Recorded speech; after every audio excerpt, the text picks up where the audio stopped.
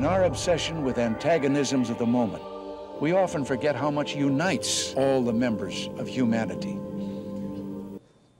Now, much has been said by the Secretary of State and others about a new world order, about a defining moment in history. I have no doubt about the potential of this moment to be defining in terms of history, but that definition can be negative as well as positive. And how negative or positive it will be will depend on what kind of new world order we really create. Part of that plan, of course, is to induce the gradual surrender of American sovereignty, piece by piece and step by step, to various international organizations, of which the United Nations is the outstanding but far from the only example. One, greatly expanded government spending for every conceivable means of getting rid of ever larger sums of American money as wastefully as possible. My 03 budget calls for more than $48 billion in new defense spending. More money for the Pentagon when its own auditors admit the military cannot account for 25% of what it already spends. According to some estimates, we cannot track 2.3 trillion dollars in transactions. 2.3 trillion with a T. That's $8,000 for every man, woman, and child in America.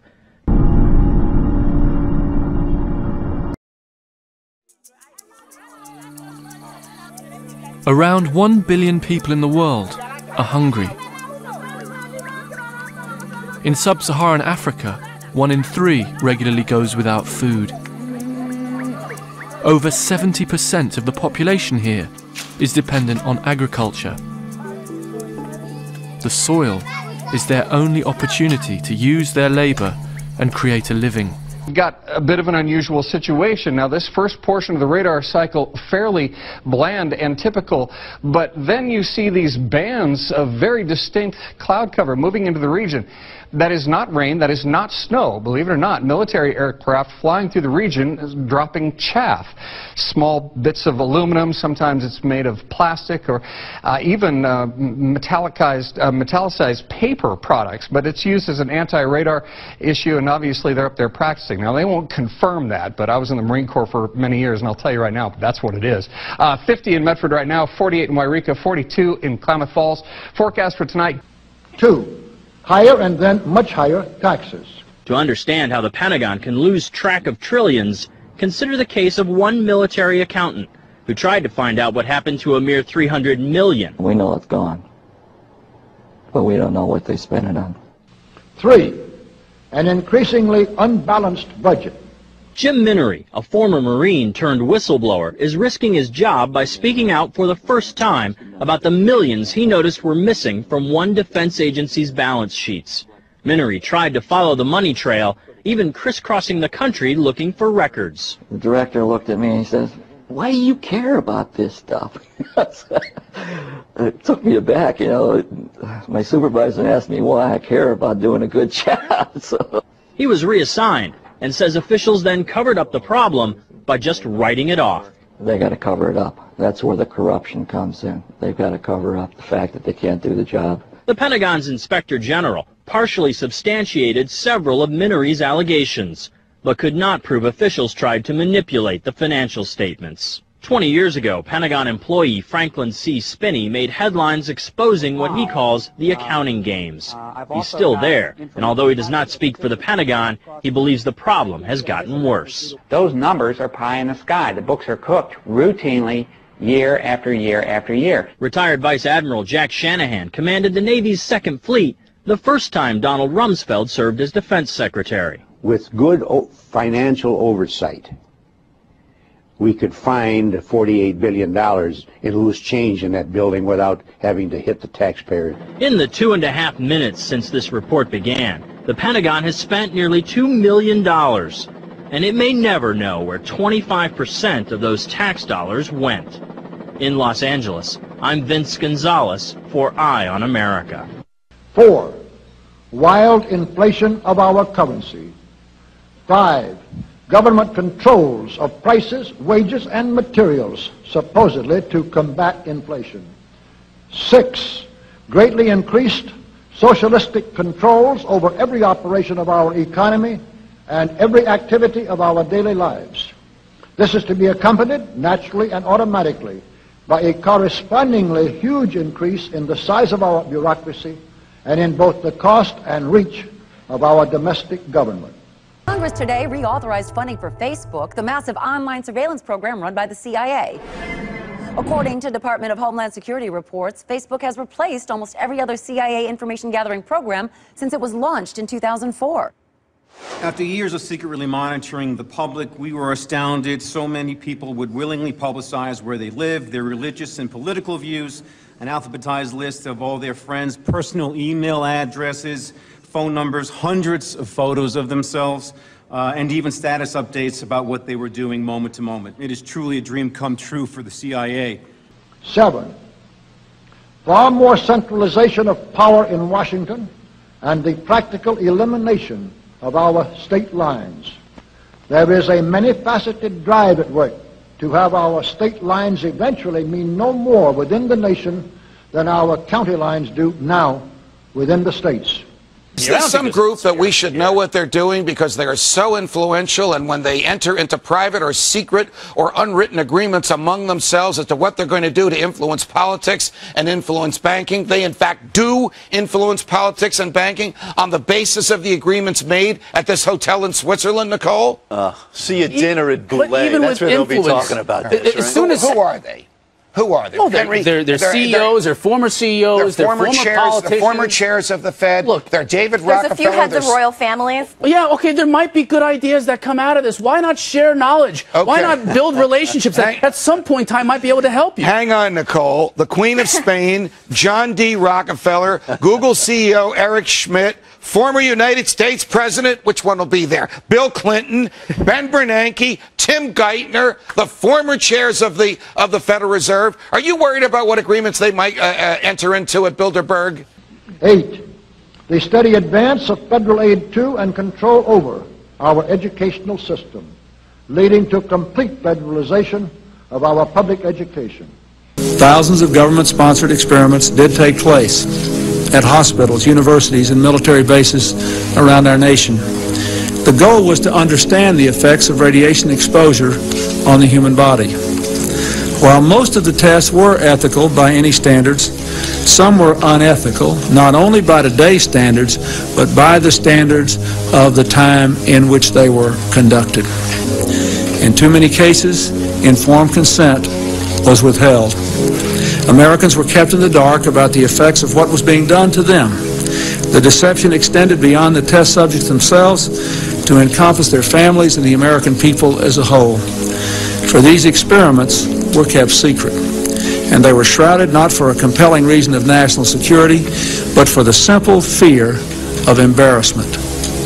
Nine, a constant hammering into the American consciousness of the horror of modern warfare. Wake up, America. Radical Islam is terrorizing the globe. ISIS or the Islamic State is attempting ethnic genocide in Iraq, trapping tens of thousands of innocent men, women, and children, all because they practice their faith in the way radical Islam disagrees with. And ISIS has already driven over a million Christians out of Iraq to Egypt, where extremist group Muslim Brotherhood went on a murderous rampage, killing Coptic Christians and burning down their churches just because they're Christian, to Israel, where the group Islamic Jihad has teamed up with the other radical Islam terror group Hamas and is firing rockets at innocent Israelis. Iran, Pakistan, Syria. Radical Islam isn't a jihad against Christianity and frankly anyone who doesn't worship the way they do. There's a common denominator with these murderous thugs. They're Islamic, they're radical, they're extremists, and they're purely intolerant. It's time to wake up check out this video of an ISIS leader who says, quote, we will not stop until we raise the flag of Muhammad in the White House. Really? Our White House? I don't think so. We've been largely patient with these Islamic thugs. I've been pushing back on getting involved in conflicts that aren't ours. This persecution of Christians and the new war cry of we will not stop until we raise the flag of Muhammad at the White House changes everything. You want a holy war? We'll give you one. It just may be time to unleash hell on radical Islam. Don't worry, Islamic jihadists. Your 72 virgins await.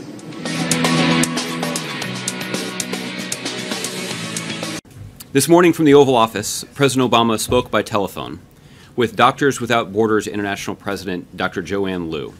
to apologize and express his condolences for the MSF staff and patients who were killed and injured uh, when a U.S. military airstrike mistakenly struck an MSF field hospital in Kunduz, Afghanistan over the weekend. The President assured Dr. Liu that the Department of Defense investigation currently underway would provide a transparent, thorough, and objective accounting of the facts uh, and circumstances of the incident, and that if necessary, uh, the President would implement changes that would make tragedies like this one less likely to occur in the future.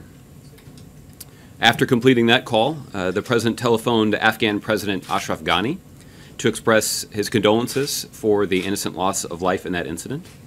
The President commended the bravery of Afghan national defense and security forces in securing Kunduz uh, and noted that he looked forward to continuing to work closely with President Ghani the Afghan, and the Afghan government to support their and 10, the consequent willingness of the American people to allow the steps of appeasement by our government which amount to a piecemeal surrender of the rest of the free world and of the United States itself.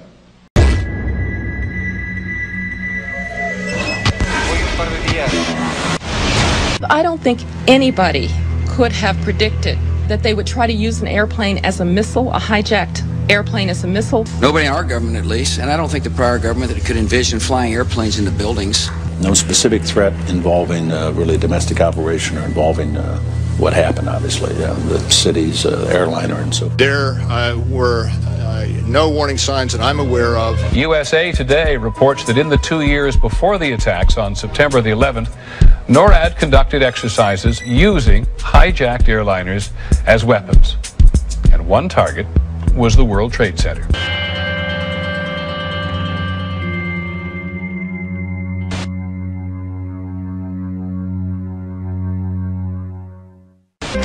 In confidential documents from the Philippines obtained by CNN, the plan was clear. He will board any American commercial aircraft, control its cockpit, and dive it at the CIA headquarters. Other buildings targeted the Pentagon and the World Trade Center. Security and counterterrorism was blinking red, in the words of George Tenet, that the warnings of an imminent attack were so severe that something dramatic should have been done. It was unparalleled. Uh, instead, our president went on a month-long vacation. Insider's dust out of your eyes, my friends, and the communist soap suds out of your brain. And ask yourselves in all honesty, what on earth is wrong with the United States simply minding its own business?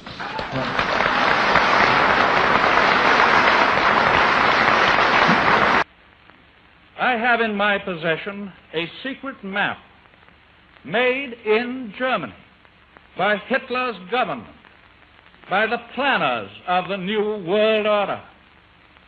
It is a map of South America and a part of Central America as Hitler proposes to reorganize it. Today in this area, there are 14 separate countries.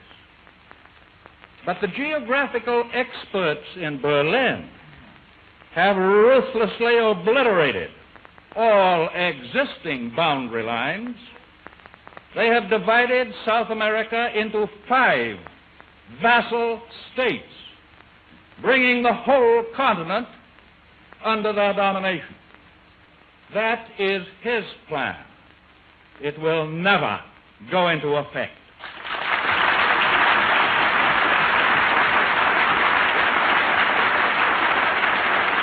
Defense Secretary Dick Cheney has approved a revised draft of a policy document on the New World Order.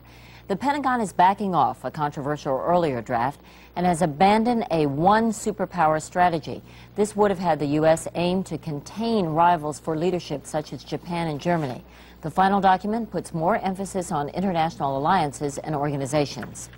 But the work is now much more sophisticated and prepared to march towards a world government. The supranational sovereignty of an intellectual elite and world bankers is surely preferable to the national auto-determination practiced in past centuries.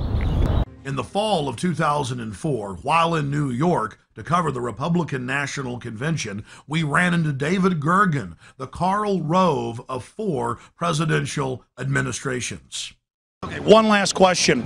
I read a Washington Times article many years ago where you had a comment about the organization, and then now it's been in the Wall Street Journal, it's been in a lot of different newspapers, and that's the Bohemian Grove. And back in, what was it, 19. Uh, 96 when you joined uh, as a Clinton advisor they were the Republicans were criticizing you oh what about Bohemian Grove and then you countered uh, and then you countered them by saying hey I don't run around in the woods naked what did that mean here is the before mentioned Washington Times article where he said I didn't run around naked like they do I, I don't I don't know what I don't know what quote you're referring to I'm not aware of any quote like that uh, listen uh, I am uh, a happy member of the Bohemian Grove. I like the, uh, the folks who come there, and uh, it's really inappropriate for me to uh, talk about a the group beyond that.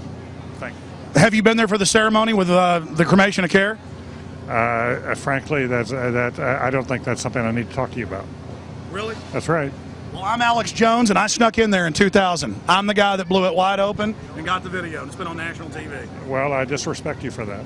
You do? I do. But it's a lot of big public officials going in there. You don't took, we deserve to know? You, you took an, I don't know anything about you, and I don't know anything about your film. But if you go in there with an understanding, you violated that understanding by releasing that film, and I don't respect you for that. Really? But you, we have public officials. You, I'm sorry. You took an understanding when you went in there that you would not do that film, and you did. Did you have an understanding when you went in there? No. Did you crash it?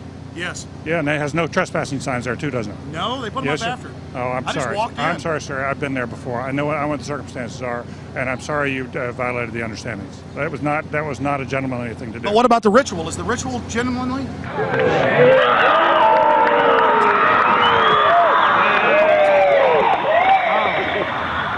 Sir. Everything uh, you, I, I, don't, I don't owe you this comment. I know. I appreciate you, you, you have you. This is what's called ambush journalism, and I disrespect you for that as well. So thank you, you and goodbye. the ritual? That's none of your damn business. Oh, that's right. Listen, listen. You go around and, and make understandings with people and violate them. You, you ambush people on the streets when that's that's inappropriate form of journalism. If you wish to practice that, that's fine. But don't ask others to respect you for it. If you want to, you, you can do, you're free American like anything you want. If you want to be uncivil and rude and ungentlemanly, that's up to you. But don't expect the rest well, of us to say, oh, well, you're. There, Mr. Gergen. I'm sorry, nobody sets policy in there. We try to be gentlemen, and obviously you don't belong there. Weaving spiders come out here? yeah, that is a three pointer. Woo! Look how strangely he behaved when we brought it up. Why is he acting so secretive? And why did he get so angry when he discovered that we'd snuck in? You see, they take it very, very seriously. This is one of the hallmarks of the occult and secret societies. The word occult means secret. Secrecy is part of their religion. They revel in it. And when it's violated, they become extremely angry. How widespread is the occult? The answer is extremely widespread. Mr. President. um, the Commission have recently replied to my written question confirming that Commissioners Almunia and Kroes attended the Bilderberg meeting in St Moritz in June. The Commission cannot tell me details of what was discussed, but assure me that the Bilderberg meetings do not take decisions. If Bilderberg meetings are just talking shops, why do the most important and powerful figures from around the world, including George Osborne, the Chancellor of the Exchequer, bother to attend? And what other summit of world leaders in politics, finance and business would go completely unreported in the mainstream media, such as the BBC? It is impossible not to reach the conclusion that the non-reporting of these events is anything other than a conspiracy between the organisers and the media. It merely confirms the belief of many that the hidden agenda and purpose of the Bilderberg Group is to bring about undemocratic world government. It is a disgrace that the European Commission is colluding in that. Bilderberg Group. People of influence, heads of finance, politicians, military men, and media moguls all meet once a year in secret behind closed doors to discuss how to further their agenda for a one world government. The group was founded in 1954 at the Hotel Bilderberg in the Netherlands, where Prince Bernhard, a former Nazi SS party member, was integral in its creation. Since then, David Rockefeller, Henry Kissinger, and Queen Beatrix of the Netherlands have been highly involved. The formation of the European Union came at the hands of the Bilderberg Group, and they are continuing to manipulate the markets to this day. Wants to create a world currency, a world government, a world army, a world religion. And it's not of Christ, of Buddha, it's not of the Muslim faith, it is a satanic order. Where institutions of freedom have lain dormant, the United Nations can offer them new life. These institutions play a crucial role in our quest for a new world order. Their agenda is control. Control of our currency, control of our families, of our freedoms, of our religions. They want it all. There's nothing that you have, or ever had, or ever hope to have that they're not planning to taking away. They want it all. If you take a look at the backside of the dollar bill, it'll say Novus Ordo Seclorum, the new social order. And they have the pyramid. And that has nothing, not a damn thing to do with the United States of America. I was going to take a look at, you know, a bill. And you can take a look on the backside of the bill and it'll say, uh, here, you can hardly see it, but it's Novus Ordo Seclorum, the New World Order. It's what Hitler envisioned. It's on the backside of the United States dollar bill. The eye of the pyramid, also called the eye of Horus, is the eye of Lucifer. This is what we are facing. Just to give you an idea of how black is white and topsy is turvy in relation to our perception of what's going on compared with what is. Um, in New York Harbor is a lady holding a lighted torch, a Statue of Liberty. Statue of Liberty, land of the free. That's what most Americans, 99.9% of them, believe that stands for. In fact, that was given to New York Harbor by French Freemasons who knew that it was an Illuminati symbolism of we control the show, we're telling you, but because you don't know the secret language and we've given you another version of it, freedom, you don't know what's going on. The New World Order is housed right here at the United Nations. It uh, is global government. Ein Volk, ein Reich, ein Führer. One world, one race, one ruler. It's what Rudolf Hess talked about when he introduced Adolf Hitler. This is Hitler's dream come true. This is a nightmare. This is the tombstone upon all sovereignty for all nations for all time. The United Nations must fall for freedom to live. Where institutions of freedom have lain dormant, the United Nations can offer them new life. These institutions play a crucial role in our quest for a new world order. An order in which no nation must surrender one iota of its own sovereignty, an order characterized by the rule of law rather than the resort to force. World War I, World War II were both created to bring about the United Nations. They're in the war business. Wars, like bridges, are engineered. This New World Order is in the war business. And to create the war, they can then say that they want peace. They couldn't, this would never have been built without the, the, the aid of World War I, without the aid of World War II.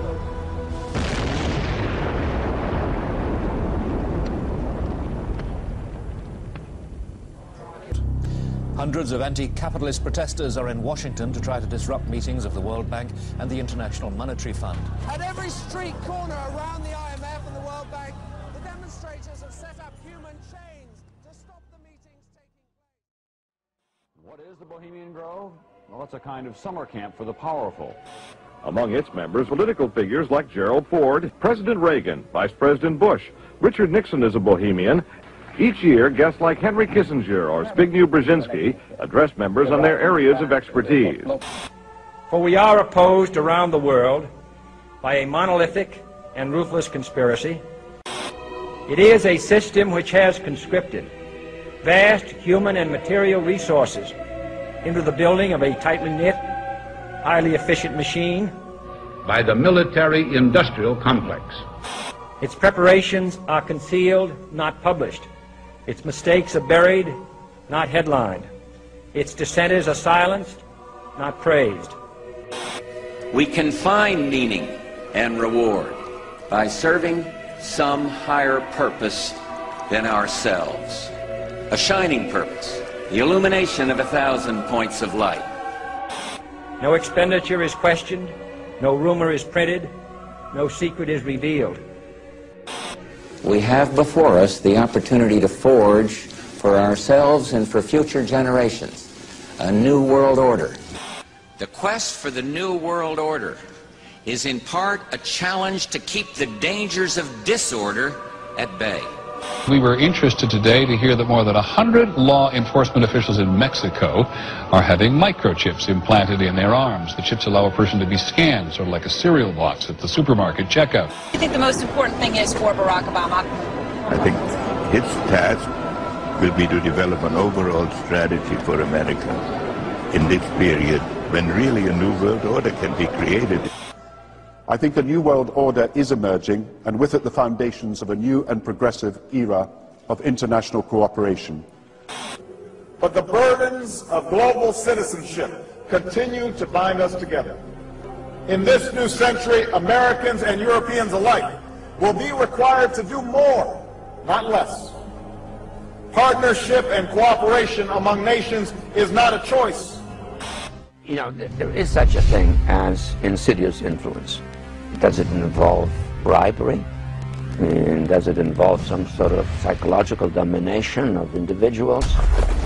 But what does the New World Order mean for countries like ours? A New World Order? No world order that elevates one nation or group of people over another will succeed. It's a phrase that I often use myself, that we needed a new world order. So it's going to be an inner ruling elite and then everyone else. And I got news for you. You're everyone else. The whole concept of New World Order is something else. It really says that the state is God. You take the roots of that organization and you find out that they created in all of the British dependencies uh, what they call roundtable groups. Then around those little roundtable groups, they created front groups. We're getting to two levels of government here. One level of government where we have checks and balances, and a higher level of COG government where the constitutional authorities are not allowed to go. The New World Order really is a tool for addressing a new world of possibilities. This is the third leg of the New World Order. Now, much has been said by the Secretary of State and others about a New World Order. 1832. Its original name was the Eulogian Club. Its creator was a merchant named William Huntington Russell, owner of Russell and Company, a transport company which was rumored to smuggle opium into China during the Opium Wars. The name Skull and Bones probably comes from a curious tradition.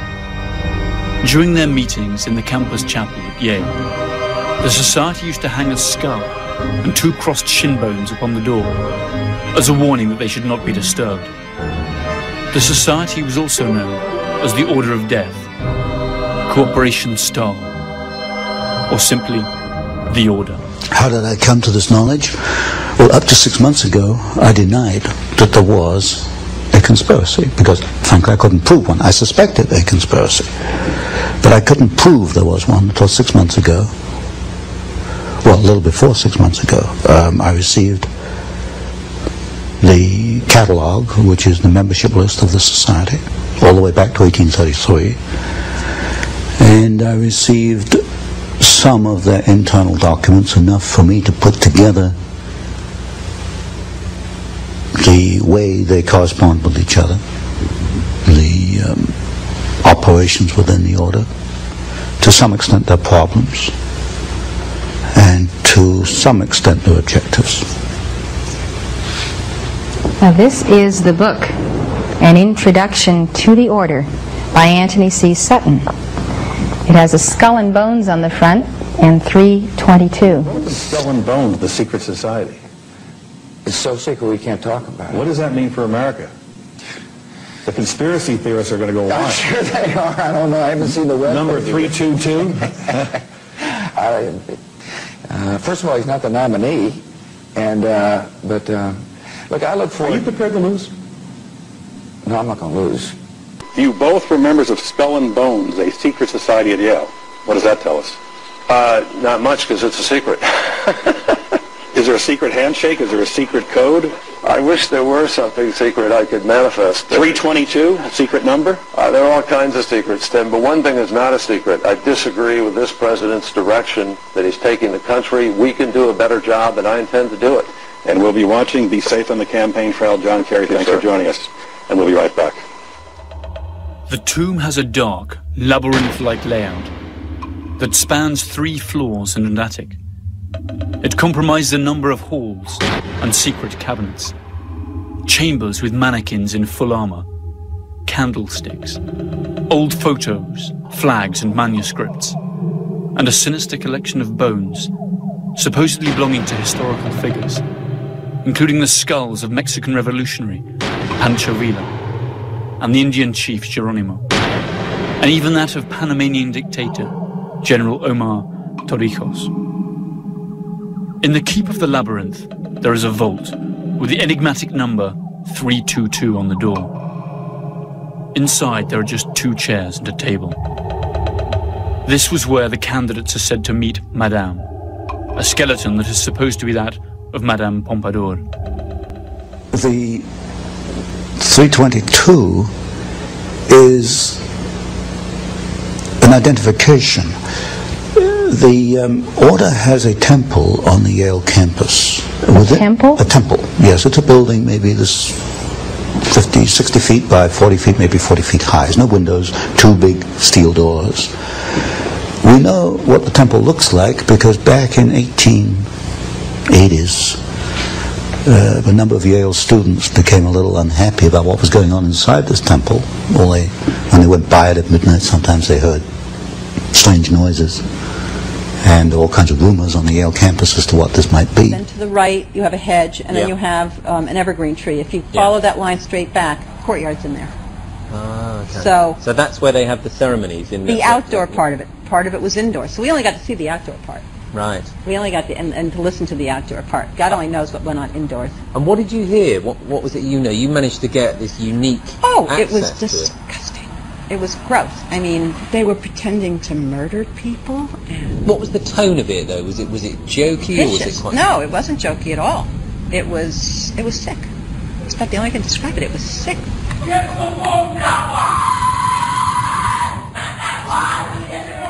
What you're hearing is the first recording ever made of the Skull and Bones initiation ceremony. It has never been broadcast before.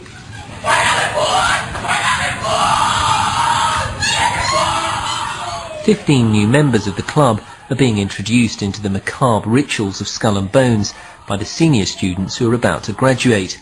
The club has what some might see as a strange fascination with death, skulls and bones. There's the chants too, difficult to hear first of all, but including the devil equals death and death equals death.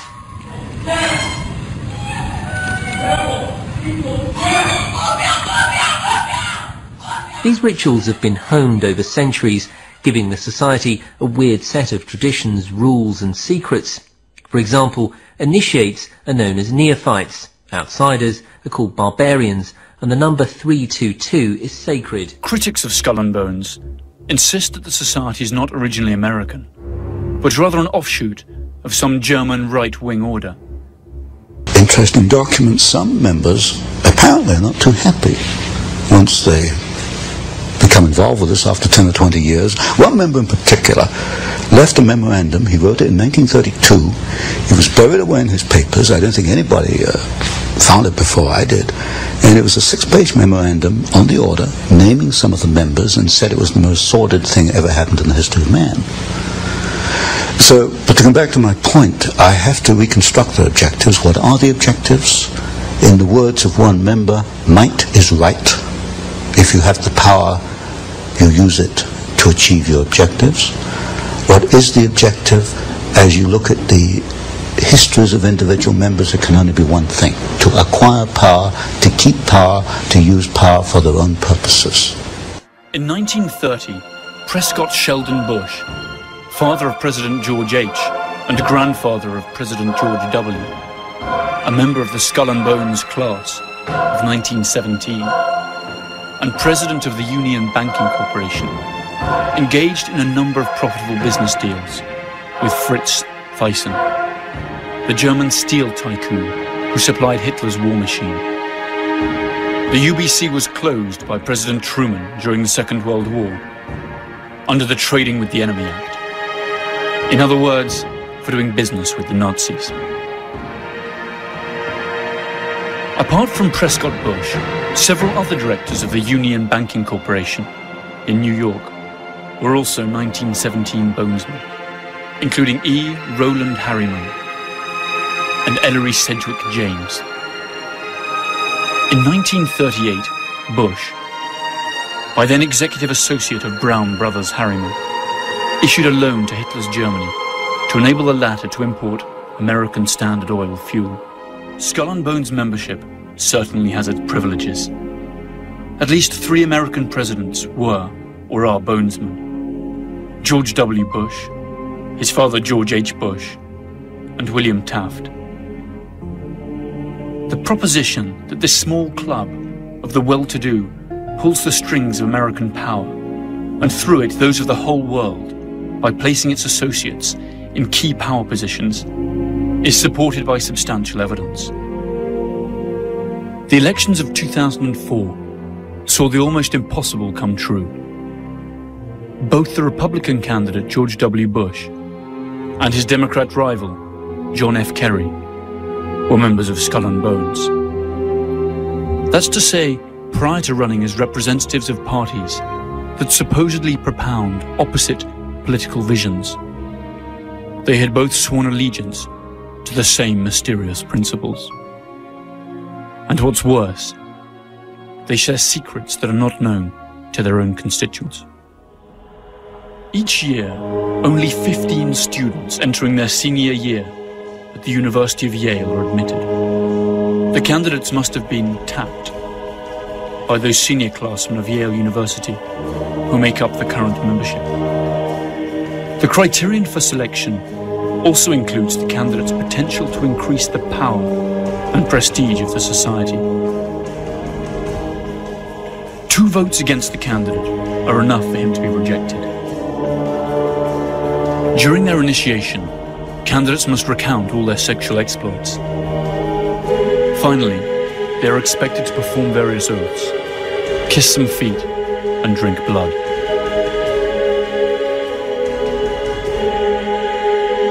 They then have to lie naked in a coffin and, after masturbating in full view of the others, swear to never reveal their membership of the order.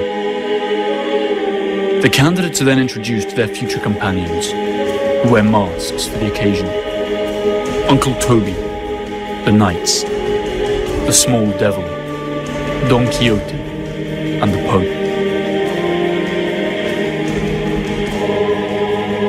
Their ceremony ends with a grand party that lasts for hours breed.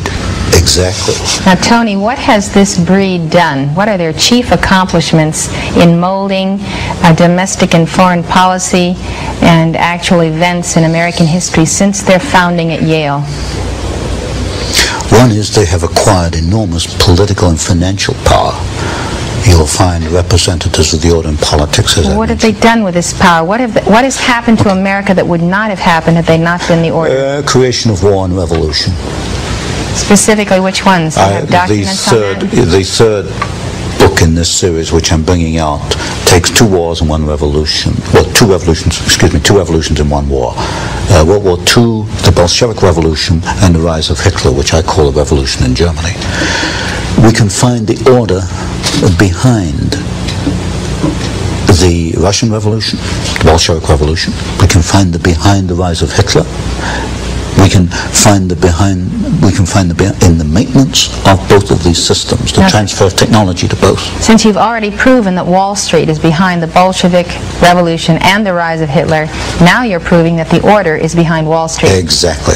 Now, who's the key figure in the order or figures that uh, mold Wall Street? In order of dominance, Averell Harriman, partner in Brown Brothers Harriman. Uh, Stanley of Morgan Stanley. It used to be J.P. Morgan, then it became Morgan Stanley. Stanley. Uh, those two are the key. Now, what did the order want to accomplish in the Bolshevik Revolution? You create opposing forces which you place in conflict. Out of conflict, you've got profit. Political power and you can direct history. And if you look at the writings, for example, of the Trilateral Commission, they talk openly in the Trilateral Commission about managing conflicts, not solving conflicts, but managing, Managing conflicts. Conflict management. That's the that's the um, that's the cry. So they got the profit, the power, and the management. Mhm. Where do they want to steer history through the Bolshevik Revolution? They wanted to set up, and they did, uh, two opposing forces. Out of that came World War II. Um, there were logical steps in the process. They used the same bank, Guaranty Trust Company, as the conduit for the financing of Hitler, and also as a conduit for financing, and also the early days of the Russian Revolution. In fact, in Russia, Soviet Russia in 1923, a vice president of Guaranty Trust Company was the foreign director of the Ruskombank, which was the first Soviet overseas bank that was set up. They were that close in those days. You'll get a very close relationship between the early Hitler days and members of the order, which is in the third book. By the end of the 1980s, the scandal concerning the Bank of Commerce and Credit International was making the headlines. The BCCI was accused of laundering drug money and financing terrorist operations. The scandal tarnished the reputation of the US government, since the bank operated freely in America and was a regular contributor to political campaigns. The administration of Bonesman George H. Bush blocked the investigation, which had in any case been entrusted to a Senate commission chaired by Bonesman John Kerry. The BCCI was absorbed by more respectable banks, and the subject was never revived. The government of the world's only superpower is packed with bonesmen. George W. Bush named 11 bonesman officials in his first government. Add to this various senators, congressmen, and chief justices, directors of the CIA, the Federal Reserve, and directors of banks such as JP Morgan Chase and Morgan Stanley Dean Witter. The American media is little different. Among others, Time and Newsweek magazines, in theory competitors, were both founded by Bonesman. The oldest and most influential families also belong to this select club. Bush, Bundy, Harriman, Lord, Phelps, Rockefeller, Taft, Whitney. All of them have undergone the odd ritual of initiation. All have spilled their darkest secrets. All have been ritually humiliated in front of their peers. And all of them owe loyalty to the order. It is estimated that there are some 800 bonesmen alive today, around half of them active and in key positions in the American economy and political establishment. Of America happen to be their own best interests as well. I have never seen anything in their literature which um, um, leads me to believe that they have our individual rights in their hearts. What I do see in the literature and in the documents is a, a, um, a ruthless drive to acquire power for themselves. evidence, the paper, peer-reviewed and published. I know, and I've of got my Thermate. people looking at it. Have you had a chance to look at the cover I have not or- personally, but they are looking Okay. at the paper you gave me. Okay. If we give you, say, a week or two, can we get back to you after that? Absolutely. Excellent. It's very important because it is evidence of treason. I hear you. You made Building 7 comments, Mr. Kerry, before when you said... Thank you very much. In a controlled fashion. I do know that uh, that, that, that wall, I remember, was, was in danger, and I think that they made a decision based on the danger that it had of destroying other things, that they did it in a controlled fashion. You denied making those statements before, but in a bookstore you said that Building 7, uh, which was not hit by an airplane, came down in six seconds, looked like it came Yeah, down in a quick controlled fashion. Building 7. I mean, you made some very very, very interesting comments on Building 7. And then you denied me making those comments when we interviewed you in New York. Yeah, can you clear that up because Building 7 is such an anomaly. I, I don't have a rec, I, I'd like to see specifically what I said. I don't have, Did you see the building come down? I don't have, No, no, no. uh, you said that this building came down in a controlled fashion, like they took it down. no, I don't think I said, I, I'd like to see specifically what I said. What is your feeling let on me- how it came down? let Let's me- start look, fresh. Guys, I'm not, I'm not into doing, running in the hallway interviews and I these get kinds it. of We things. have very few opportunities to Let talk to a me- man like you, so. Let me take a look at what Yeah. the transcript says, and we'll go from there. Okay? Fair enough. Thank you. Thank you for your time. Thanks.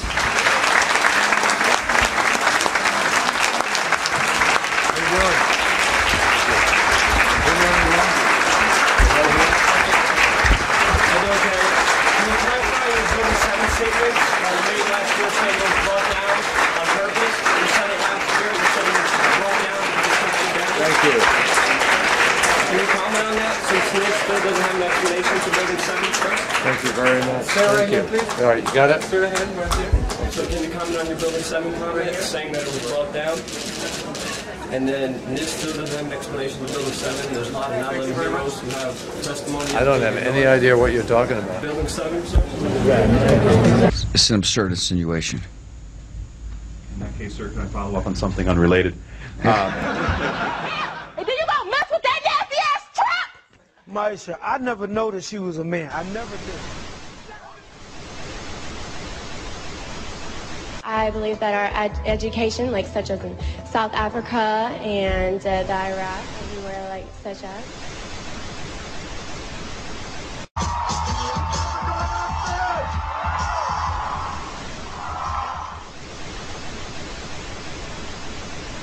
Platform 8 for the 2228 Southern service to Eastbourne via Lewes.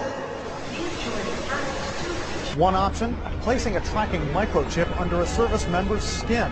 Former Special Operations Officer. And if you hear the shouting, it's a group of demonstrators who've come. 9-11 was an inside job.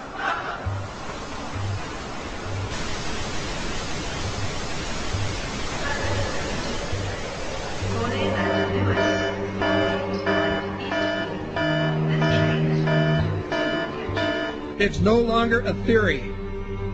What I'm about to say is fact. The secret organizations of the world power elite are no longer secret.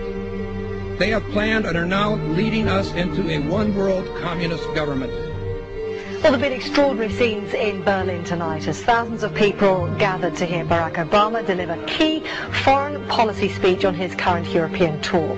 The Democratic presidential hopeful laid out his vision for America's place in a new world order, in a new world order, in a new world order. It's not a new idea. President Bush talked about it back in 1991. It is a big idea. A new world order. President Bush said, and it's a phrase that I often use myself, that we needed a new world order. There's a need for a new world order. I call upon all states to join ranks in order to found the new world order of the 21st century. We have before us the opportunity to forge for ourselves and for future generations a new world order when we are successful, and we will be. We have a real chance at this new world order. And people talked then, in 1990, of a new world order. And the question for us is how we meet and master all these challenges to ensure that Britain enhances its competitiveness in the process and realize, realizes what I believe is our destiny of success in this new world order. So, in conclusion, ladies and gentlemen, a new world is emerging. It is a new world order with significantly different and radically new challenges for the future. And people better understand that they mean exactly what they're saying. It's a new world order they're trying to create, and they're trying to do so not only uh, without approval uh, or consent of the government in this country, uh, but despite the popular will. Uh, this is a straightforward assault by the elitists in this country. There is a global meltdown coming. It is a global depression. And one world currency and one world financial system is the end game. China said last week they want one global currency. France said yesterday or the day before that they want one world order, a new world order at the end of this event. Gordon Brown will today call on fellow world leaders to seize the opportunity created by the worldwide economic crisis to create a truly global society. The Prime Minister will use a high-profile speech in the City of London to say that Britain, the US and Europe should join together to create a new, stronger and more just world order. This engineered collapse is there as a massive problem for which you um, offer the solution. And the solutions are the infrastructure we've been predicting all this time, including the World Central Bank. The goal of this manipulation, and has been for a very long time, is to get the world population to see as a good idea or the only option in given circumstances, circumstances that are manipulated into place, the creation of a one world government, a world central bank which would administer all financial transactions on the planet, a world currency, and a microchipped population linked to a global computer. The wealthy elite who have the money and the power know that if they can create a one, one world global social system, that they can control the central authority. In other words, world control, world domination, the, one of the oldest desires in, in the history of the world. There's a very, very clear-cut and easily identifiable system in place that puts all of these elements from media control to government control to energy control together into one apparatus working together effectively towards its final goal, which is you know, global control. Because of the compartmentalized pyramids that they've uh, constructed within all these institutions of government and finance and, and, uh, and corporations, the vast majority of people who are daily making contributions to push the world in this uh, towards this Orwellian global state have no idea that they're doing that because they don't know how their contributions fit in with everyone else's, only the few at the top do. Most people don't have a clue that unelected private bankers actually control the governments of the world. There is this like cozy little myth that is perpetuated between politicians and the media. The media report the world as if presidents and prime ministers are the final arbiters and decision makers in the world, which means that the people above the level of presidents and prime ministers that really make the decisions, they're never looked at or exposed by the mainstream media because they're not accepted to exist. The central bankers of the world are working together to create a one world government. A global police state as sinister as anything George Orwell ever wrote about. Where every person on the planet Earth will have an RFID chip implanted. It is an imp- the first implantable microchip for humans that has multiple security, financial, and healthcare applications. More than 100 law enforcement officials in Mexico are having microchips implanted in their arms. The chips allow a person to be scanned, sort of like a cereal box at the supermarket. Just like the microchips implanted in the necks of dogs and cats, allowing lost pets to be identified, this glass capsule can do the same for humans. A chip in everybody would be the universal monetary system par excellence. Uh, because there'd be no escape from it, and you'd be uh, totally under the control of those who issue the electronic impulses in that chip. The problem throughout human society is that the good men and women do nothing. They don't want power. They don't want control. They want to lead uh, to lead a leisurely life. They want to spend time with their family. They want to lead simple lives. But we are forced throughout society, throughout history, and throughout human time to stand up against bullies. And many times we stand up before it's too late. And we reverse the course of tyranny. More often than not, we don't stand up in time, and horrible things have to happen first. So decadent societies learn why liberty and freedom is so precious. If you think you don't like the situation now, then think what you're going to face a, little way down the road. And more than anything, uh, think of what your children are going to have to face. Because you think that we live in a controlled society now, this is nothing compared with what they are going to have to live in. So in terms of uh, parents who, who are listening to this information, I would say this. Go and look your children in the eyes and tell them that you can't be bothered or you're too frightened to do anything about it. You're too frightened to get involved, too frightened to get involved in, in being another conduit for um, getting this information uh, further and further expanded in, into the public mind, that you're too frightened to get together with others to stop cooperating with this system and to not be intimidated into coming into line, which is a bit like coming into line in a concentration camp and, uh, and, and thinking it will be okay as long as you stay in line and you do as you're told, you'll be fine. And then you realise at the end of it, well, actually, it ain't fine. And, and if you'd have all rebelled earlier, then you wouldn't be in the situation you're facing now. The point to, uh, of mathematics alone ought to uh, let us see where the real power is here. There are billions of people, six billion, nearly getting on for seven billion on this planet, who are being manipulated. There are, in full knowledge of what they're doing, a relative handful of those who are doing the manipulating to the end that we're talking about. They think they've beaten us. They think that they're going to have their way with us. And I'm here to tell them they're not going to have their way with us. We are going to defeat them. You guys aren't going to be able to get away with your New World Order, sir. Talk about Bill. You know what New World Order is. You will never get a New World Order. Never.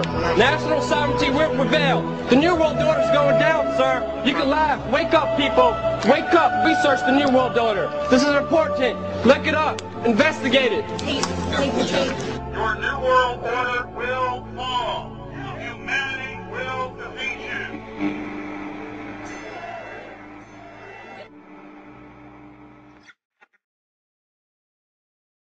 The Council of Foreign Relations was founded during the First World War, when a university fraternity presented President Woodrow Wilson with a set of proposals that detailed options to reinforce world democracy when Kaiser Wilhelm II was eventually defeated. The proposals were backed by Colonel Edward Mandell House, advisor to President Wilson. Wilson presented the project to Congress in January 1918, where it was approved. And the CFR was officially founded in 1921. Its first sponsors were members of the most powerful families in the US. Rockefeller, Mellon, Harriman, Schiff, Kuhn, Loeb, and Carnegie. It was also backed by important foreign citizens, including multimillionaire South African colonizer Sir Cecil Rhodes, and European bankers Warburg and Rothschild. According to its critics, the domination strategy of the CFR is to control both sides of conflicts, and its ultimate goal, the creation of a private world government that would run countries as corporations. To achieve this, it would first have to erode the political structures of all sovereign states. Then it would have to foster worldwide socio-cultural standardization.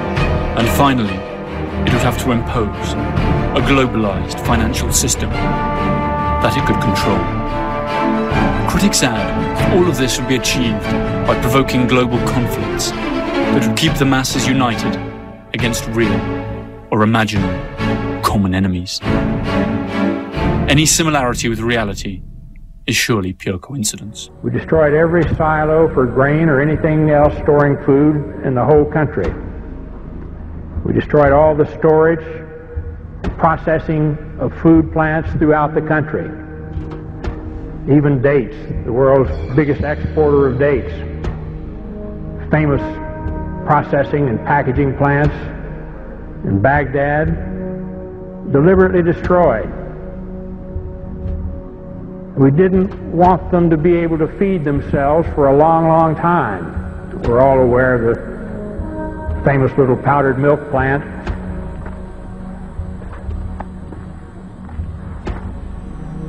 The, the United States government says that in this factory here you are making chemical weapons. Is that true? No, that's not true. They are lie. Because this is milk for children. Uh-huh. This powder, milk of children. Uh-huh. Nothing else was made, only this in the factory? Yes, and you can see it yourself. With the only factory in the Middle East to produce powdered milk, they were producing about 17% of their powdered milk requirements. We destroyed that, cut off all the milk. The malnutrition of the mothers immediately jeopardized all of the infants. 70% of the pregnant women, even today in Iraq, suffer anemia. The death rate for children has soared compared to 1989, the last year before sanctions. One of the biggest causes of death in Iraqi children today is diarrhea and dysentery due to the untreated drinking water. Iraq's water purification plants were heavily bombed in the war, and many that were repaired have broken down. The United Nations bans the import of spare parts and chlorine into Iraq to purify water. We saw the effects of this policy in the hospitals. This is the second attack form of acute bloody diarrhea, amoebic dysentery. Most of them are due to contamination of water. He is malnourished, anemic, underweight with a developmental delay. Diarrhea and vomiting. Do you have tap water there? No. See the conditions of these children shouldn't shouldn't happen anywhere, and it's caused by the sanctions the United States government insists upon.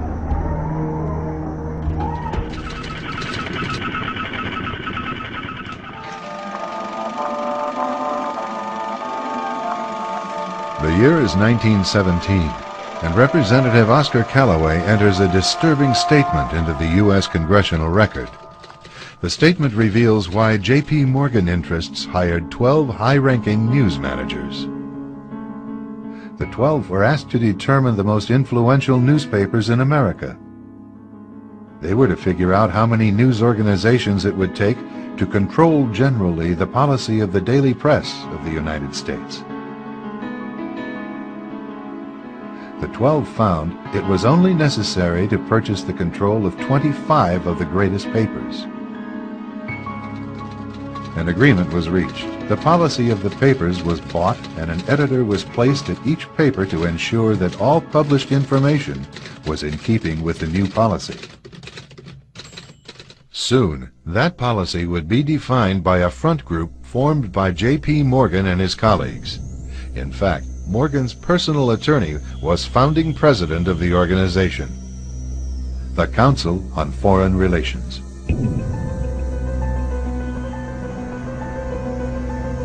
Today, the CFR maintains that its goal is to increase America's understanding of the world.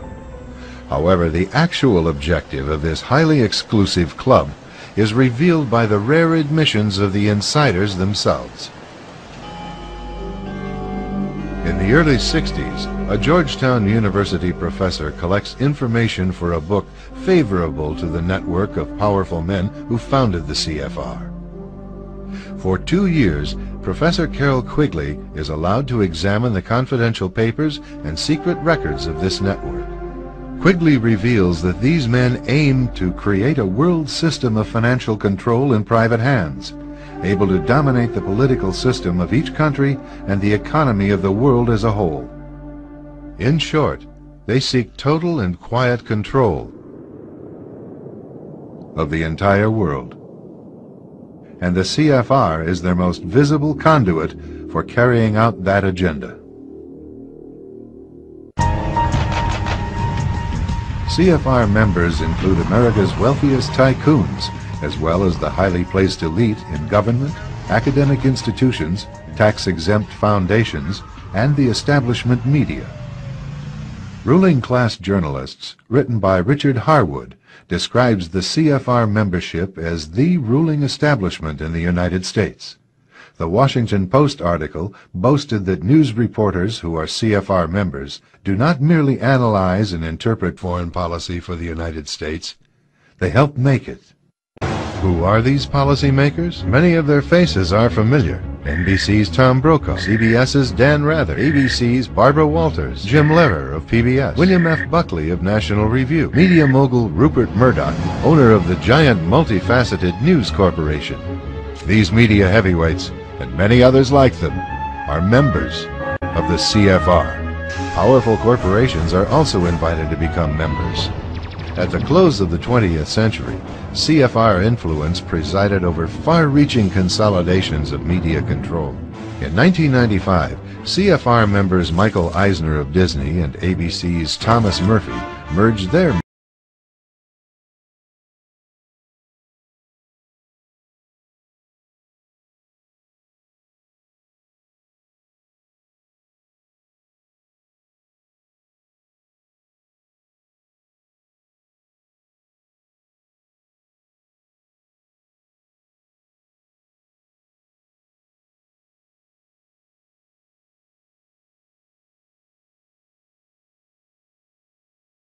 Once again, another media giant is created under the shadow of CFR influence. Today, an elite handful of individuals define the agendas that are supported by the empire of establishment news. This is a public service announcement. Red alert. Red alert. All six media corporations, Time Warner, Disney, Viacom, News Corporation, CBS Corporation, and Comcast, have one thing in common.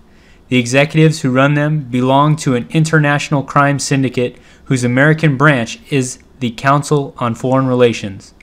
The CFR was founded in 1921 by David Rockefeller, the son of the Rockefeller banking and oil dynasty.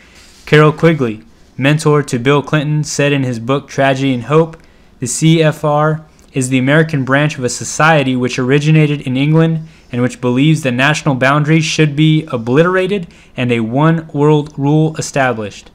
Although media seems to be biased, either being conservative or Democrat, the men who own these media corporations care nothing about these political parties. The job of these corporations is to keep the people divided on social issues while telling the masses of people globalization, a one world order, and illegal foreign wars of aggression are all necessary and for your benefit. Time Warner CEO Jeffrey Bewkes, CFR member. John S. Chen, Board of Director of the Walt Disney Company, CFR member. George Soros, financier of Media Matters, CFR member. Rupert Murdoch, CEO of News Corp, CFR member. Lesley Stahl, co editor of 60 Minutes, CFR member. Brian Williams, NBC anchor, CFR member. Be sure to call the Satanic Council on Foreign Relations and verify what has just been told to you. Among CFR's most renowned members are David Rockefeller, Henry Kissinger, Bill Clinton, former Secretary of State Madeleine Albright, Hungarian American billionaire George Soros, Supreme Court Judge Stephen Breyer, Low CBS Network's President Laurence A. Tisch, former U.S. Secretary of State General Colin Powell, General Electric's former chairman and CEO Jack Welch, current U.S. Secretary of State Condoleezza Rice, W. Thomas Johnson, President of CNN, and Katharine Graham, President of the Washington Post, Newsweek, International Herald Tribune Group. That's not to mention Allen Welsh Dulles, founding father of the CIA, and banker Paul Moritz Warburg, who was born in Germany and emigrated to the United States, where in 1913 he drew up and promoted the legislation that would create the Federal Reserve Bank. This is the American Central Bank, whose capital is not public, as would normally be expected, but is instead in the hands of private banks. Both the IMF and the World Bank have come in for some heavy criticism over many years for their lousy management of world crises. When instead of acting like last resort moneylenders, as their mission states, they became involved in dictating the macroeconomic policies of deeply indebted nations, drowning them in more and more debt. This policy had catastrophic results for countries such as Brazil, Argentina, Turkey, and Mexico. Joseph Stiglitz, Nobel laureate for economics, has repeatedly attacked the performance of the fund, suggesting that it was the true cause of many of the aforementioned crises. This cannot be brushed off as hearsay, since Stiglitz was chief economist and senior vice president of the World Bank from 1997 to 2000. In other words, an insider. You have to get rid of the powers that they have. You have to greatly control um, every transaction and what's going on there. And basically, you have to make them impotent. Because as long as they have the power, they're going to continue to exploit and manipulate the working class. All, all the cops are, they're, they're just uh, workers for the uh, 1%, and they don't even realize they're being exploited. What kind of relationship do you have with the cops? Or do they see you as being one of them? Or They're trying to get me arrested. They're trying to get you and arrested. And I may, I may disappear, okay? Uh, But as soon as I'm, I'm you know, I'm not going to go to prison. But as soon as I'm let out of jail, I'll be right back here, and they'll have to arrest me again. Is it? Happened to all of us. At least. To be allowed to join the select 4,200 members the CFR has today, it is mandatory to be American or to be about to obtain American citizenship. The Council is loaded with top executives of financial institutions, powerful industry leaders, and mass media executives. Academics and scholars, high ranking military personnel, politicians, public officers, deans of universities, and research centres are also welcome. The idea of a world dominated by private corporations, led by the CFR, might sound nonsensical. These corporations have a joint turnover that is almost twice the GDP of the United States and employ more than 25 million people in the United States alone. Their power is surely already strong enough to twist some political arms worldwide. Perhaps the CFR is just an innocent think tank, like its members say it is. One thing is certain the undeniable and enormous power wielded by such a group of influential people, for better or for worse.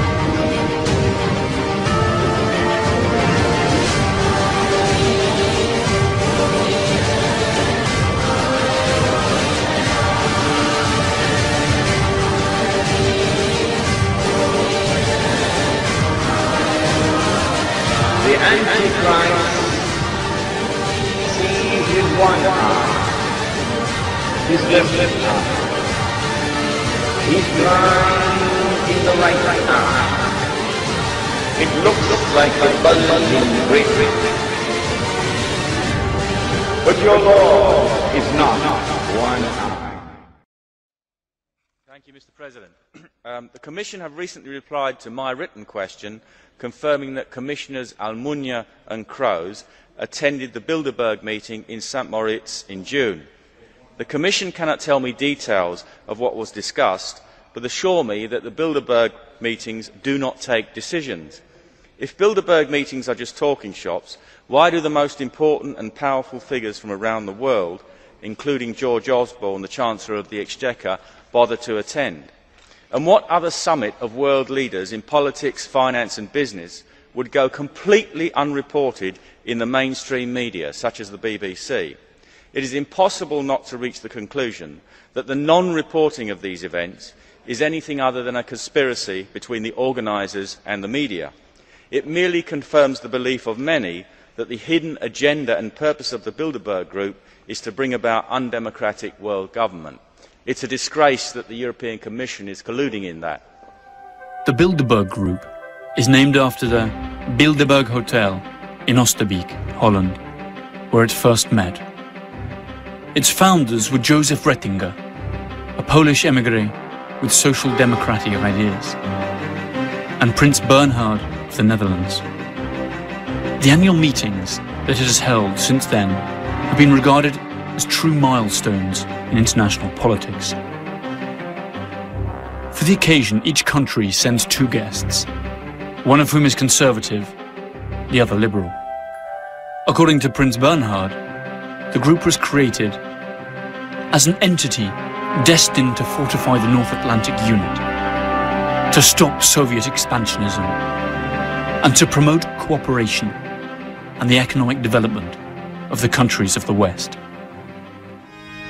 The venue, the agenda, and the participants are not secret. What remains undisclosed, however, are the topics discussed, since the meeting is held behind closed doors, and no detailed reports are published. The conference takes place during a weekend in May and lasts three full days, usually a few weeks before the G8's annual meeting. A fleet of black limousines drives the guests to a luxury hotel or palace of choice. Security is tight and includes members of the attending countries' secret services. Past and present participants of the Bilderberg Group include the CEOs of France Telecom, Coca-Cola, Danone, Heineken, JP Morgan Chase, high-ranking British, American and European officials and cabinet members, and the editors of newspapers such as El País, La República, Le Figaro, the New York Times, Die Zeit, and the Wall Street Journal, among others. The items on the Bilderberg agenda vary very little from meeting to meeting. A state of the world analysis, discussions on security in the West, debates on economic and political trends in the developed countries, as well as discussions on nuclear energy, and lately, biotechnology. Other famous guests at the group's meetings have included Giovanni Agnelli, then president of Italy's Fiat auto giant, and Henry Kissinger.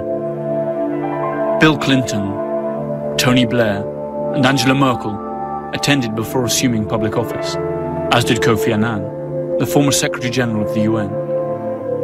Annan was married to Raoul Wallenberg's niece. Wallenberg, as we stated before, is the patriarch of the powerful Swedish family that has supported the group from its very beginning. Other participants have included Henry Ford II, George Pompidou, Helmut Schmidt, and Baron Edmund de Rothschild, together with the father of the American atomic bomb, J. Robert Oppenheimer. More names follow.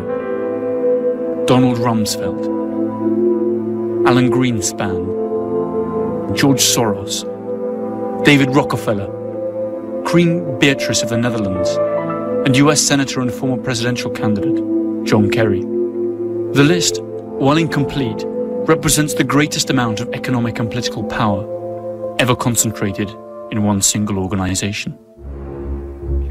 Something must replace governments. And it seems to me that private power is the adequate entity to do it. Elite organization called the Bilderberg Group has met annually all around the world in total secrecy, behind closed doors and with no official press coverage. It started in 1954 when the world's most powerful people joined forces in the Netherlands at Hotel Bilderberg, where Prince Bernhard, a former Nazi party member, was integral in its formation. Last year it was in Zurich, Switzerland. It was believed that the group discussed how to handle the Arab Spring at that conference. And this year they're meeting in the wealthy city of Chantilly, Virginia, right next to Washington, D.C. The group is comprised of 130 or so of the world's top elites in politics, banking, food, oil, media, and national defense. Some of the most notable attendees have been Ben Bernanke, Bill Clinton, Timothy Geithner, Bill Gates, Tony Blair, and Colin Powell. Others include Queen Beatrix of the Netherlands, Prince Charles, jo- Prince Charles, George Soros, and Alan Greenspan. Henry Kissinger and David Rockefeller are integrally involved as members of the Bilderberg Steering Committee, which is responsible for carefully crafting who will be attending the meetings every year. Some have called the Bilderberg Group a harmless think tank or just a discussion group, but people who've been following it for years say there's something much more sinister at the root. They claim that the group gets together to plan world policy for a new world order of global domination at the subjugation of the rest of humanity. Unfortunately, you won't hear, won't hear much of a peep about the group's dealings or even the existence of it on the corporate media. This could be because the media moguls that have attended are sworn to secrecy. Check out what Rockefeller has said about the media coverage of Bilderberg. In his memoirs, multi billionaire David Rockefeller said, Quote, some even believe we're part of a secret cabal working against the best interests of the United States, characterizing my family and me as internationalists, and of conspiring with others around the world to build a much more integrated global political and economic structure. One world, if you will. And if that's the charge, I stand guilty, and I'm proud of it. He also allegedly said that he's grateful to media outlets like the Washington Post, the New York Times, whose magazine directors have attended their meetings and promised to keep it discretionary for almost 40 years, saying it would have been impossible for the group to develop its plan for the new world if it would have been subject to the lights of publicity during all those years. While the public might not know exactly what's going on there, many people agree that the people who attend the meetings are the world's most powerful movers and shakers. Just take a look at this Drudge poll. It's a poll conducted to ask people what they really think of the Bilderberg conference. Over half of the people that polled were said that the people who attend the conference are the real power masters of the world. 14% say they think it's just a false conspiracy theory, and 35% say it's a little bit of both. Nonetheless, the secret meeting is definitely coming more and more into the public eye, whether the participants want it to or not. Meanwhile, while Bilderberg attendees were questioned by independent journalists about what really goes on there, they completely skirt the issue or even deny having attended in some instances.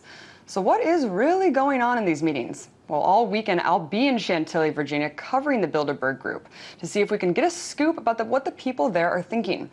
Thousands are expected to protest, and they'll be there in protest at the They're conference. A bunch of criminals. They're a bunch of criminals. They've taken over our government. He who makes the money makes the rules. And because these guys make the the, money, golden rule. it's the old golden rule. Yeah. And because these guys make the money, they control our government, both the Democrats and the Republicans. And it doesn't matter whether Hillary Clinton's in office or George Bush is in office, the same things are going to happen. There are minor differences, but essentially the same thing is going to happen. Well, you should be frightened because these people are controlling our lives. You know, we know we're no longer in charge of our own lives. Everything we do today is done by. It's like it's like believing in a sense that America, from the beginning, was supposed to be a democracy. You keep hearing it's a republic. Of course, it's a republic. Sure. It's a constitutional Yeah, republic. absolutely. Absolutely. Right. And if you ask 100 people on the street, what form of government is America supposed to be? We have a democracy. 95, 98% will tell you it's a democracy. It's not. And they don't get this.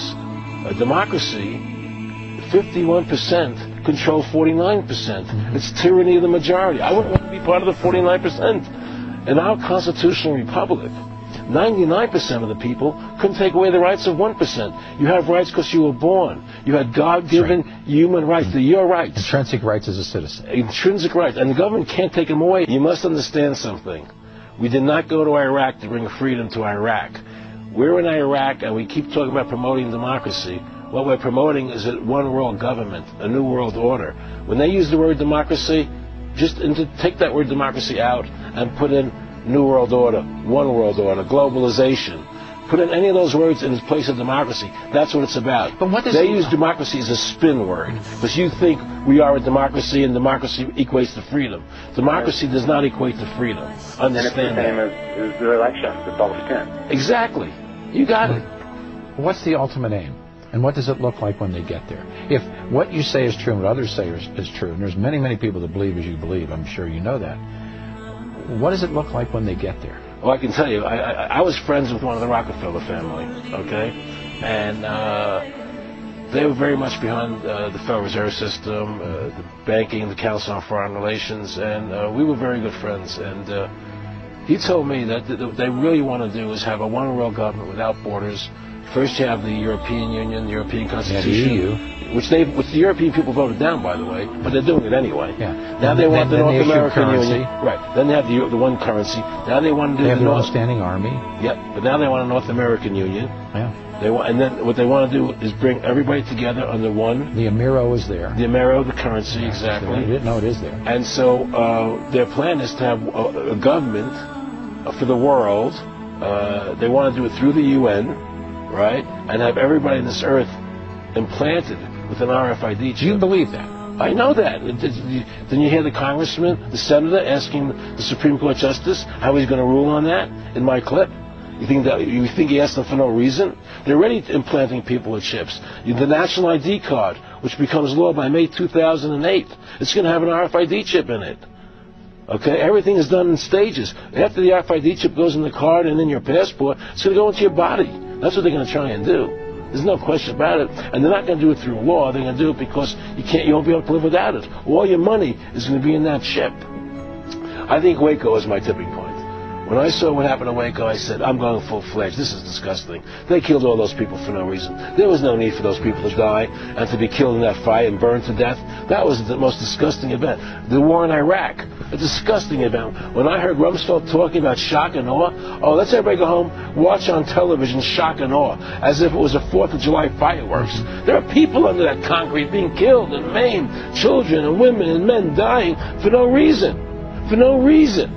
You know? I had a friend, one of the Rockefellers, he said to me, Aaron, uh, what do you think women's liberation was about? And I said, uh, I think I had conventional thinking. And I said, I think it was about women having equal right to work with men, equal pay, you know. He said, you know what, Aaron, you're an idiot. And he started to laugh at me. I said, what do you mean? He said, you want to know what that was about? Said, tell me. He said, we, the Rockefeller Foundation, financed that women's lib movement. You want to know why? For two reasons. Half the population wasn't taxable before. And the second reason is now the kids go to our schools at an early age and we mold them. There's no more family at home to take care of the kids. The state becomes the family now, Aaron. You get it? And that's how this country is working. It's run by evil. It's run by evil forces. And people in this country better wake up to the truth and save this country from what's happening.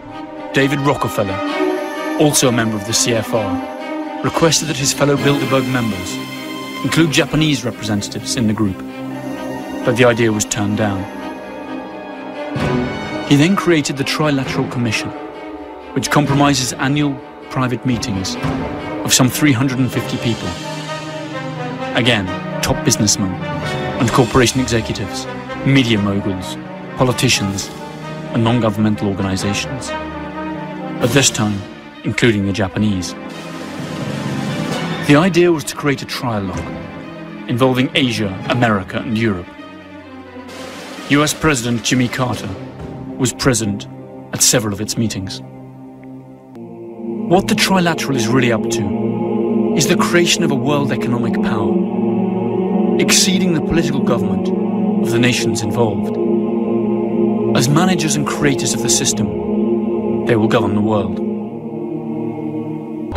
During the 1980 presidential campaign, Ronald Reagan attacked Jimmy Carter by saying that there were 19 trilateralists, including Carter himself, in the administration. Reagan pledged that if he were elected president, he would not stop until he had exposed all of the secrets of the Trilateral Commission. But when Reagan finally became president, he included in his government 28 members of the CFR 10 Bilderbergers, and at least 10 trilateralists. His vice president was none other than trilateralist George H. Bush.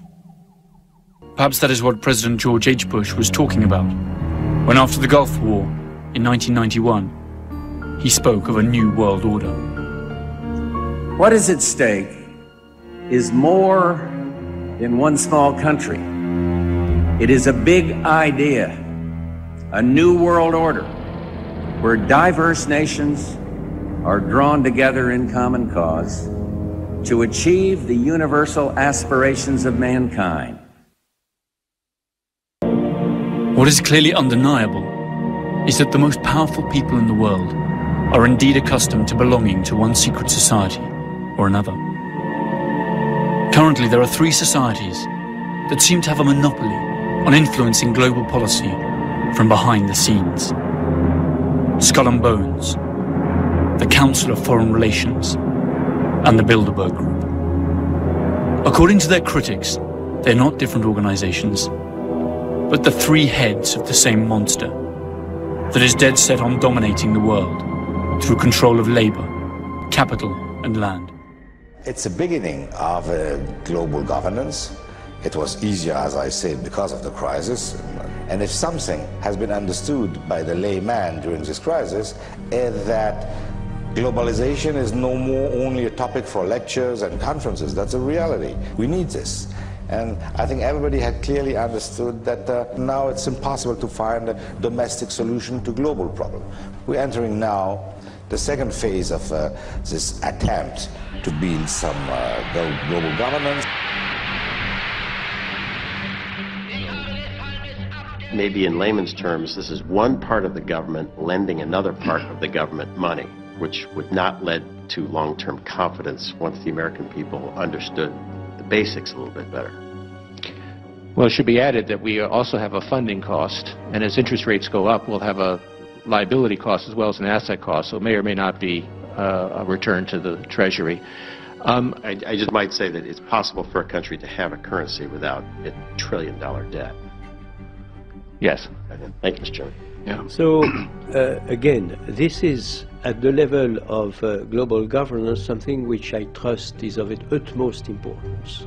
And I would say uh, that uh, we owe this transformation, which again has been prepared, it was overdue, that these economies that were obviously systemic at the global level would uh, have a full ownership of this uh, global governance. We have now shipped the baton. The baton is in the hands of a grouping of countries. it, it is eff effectively a bankruptcy of, the, of, of this market fundamentalist uh, uh, belief, and, and we, we just have to recognize that we something went very wrong, and we need to reformulate our view of, of what how financial markets uh, work. And unless uh, we arrest it, you have a snowball effect. And as you know, the further it goes, the bigger it gets. Uh, uh financial protectionism, trade protectionism, and uh, a breakdown of the global economy. This is not only about the Fed. This is about the Bank of England. This is about the Banque Centrale Européenne, European Central Bank, where you got the assets that have gone up, not uh, through sound instruments, but through the files that banks cannot recover anymore. Oh, they you mean after uh, Building 7 yes. exploded on 9-11, no, really. they can't, they can't no, get the mean, records the, anymore? It's how, how whole, convenient. It's the whole world system that has to be revalued, and now the system has to be reconstructed on sound basis. I agree with you on accountability, I agree, agree with you on transparency, but this cannot be done only leaving the Wall Street and the Senate and Capitol Hill alone. We need, we need to solve it together. The world, Europe has a role to play, Ooh, the emergents yeah, have a role the to play. Federal Reserve Bank, Bank of England, European Central Bank, they all report to Bank of International Settlements in, in Switzerland. And that's another black box, and that's another highly corrupt institution. And uh, again, that thriving in the darkness of non-accountability and non-transparency. The New York Stock Exchange, once the very center of global capitalism, is now part of a $25 billion proposed merger that would give a German company majority ownership of America's most famous financial institution. The planned merger with Frankfurt's Deutsche Börse Stock Exchange is symbolic of New York City's fading dominance on the world stage. In this new world, such dangerous currents have swept along faster than our efforts to contain them. And that is why we cannot afford to be divided. No one nation, no matter how large or powerful, can defeat such challenges alone. None of us can deny these threats or escape responsibility in meeting them. In this new century, Americans and Europeans alike will be required to do more, not less. Partnership and cooperation among nations is not a choice. It is the only way, the one way. The IMF and the EU Commission and the European Central Bank are not in Dublin today as friends of the Irish people. They are here to enforce the writ of the uh, financial markets.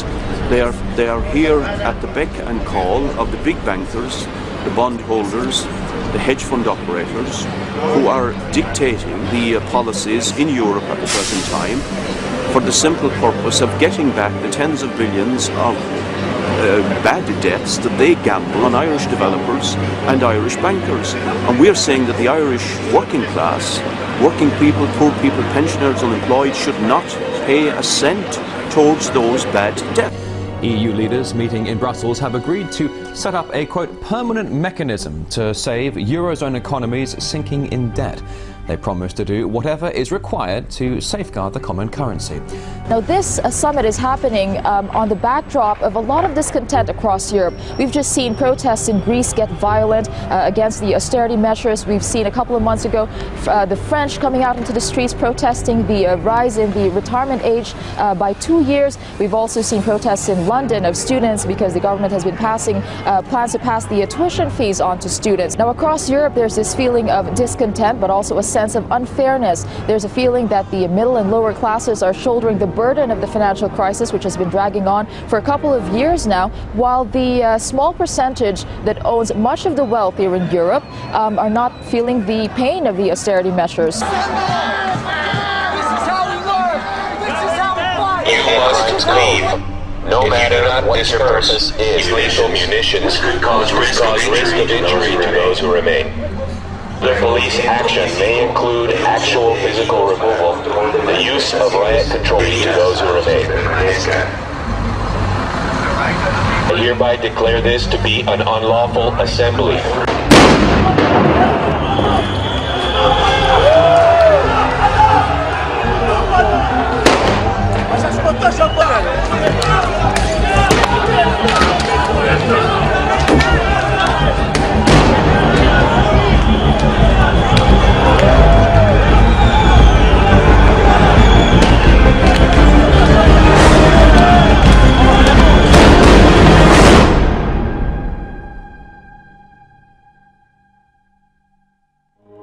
Since the Industrial Revolution, we will see a fascinating sequence of events unfolding that seem to prove the conspiracy theory, or at least provide major arguments for it. First, the ever-increasing concentration of cash and other resources in a few private hands, such as banks and gigantic multinational corporations. Corporations whose revenues are equivalent to the GDPs of entire countries, and whose mere survival demands more and more profits year after year, no matter the social cost. Second, the creation of public multilateral control organizations that are actually nothing but the public arm of powerful private interests. These organizations include the American Federal Reserve, the World Bank, and the IMF. Third, the undeniable advance of the process known as privatization. That is, taking non-renewable natural resources, communication infrastructures, heavy industries, as well as defense, health and banking systems, out of the hands of the people and delivering them into the clutches of profit-hungry private corporations. Fourth, the phenomenon of cultural and financial globalization, that in truth amounts to little more than the imposition of a dominant cultural and economic system upon those of peripheral countries. Fifth, the creation of worldwide conflicts and stereotypical enemies to manipulate public opinion and destroy any possibility of discussion or dissent, leading to the actual loss of many of the most elementary democratic rights. The US Patriot Act of 2001 is a good example of this. When panic attacks, people tend to accept more and more control. Finally, and most interesting of all, that almost all of the key players of these events, those who are really taking the decisions and hold the true political and economic reins of the West, by being in command of its capital, armed forces, or even votes, are coincidentally grouped in just a few societies that meet behind closed